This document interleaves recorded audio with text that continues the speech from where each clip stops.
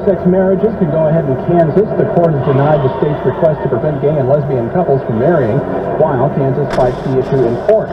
A federal district judge last week blocked the state from enforcing its ban, saying it was in keeping with an earlier ruling by the federal appeals court that oversees Kansas that struck down bans in Oklahoma and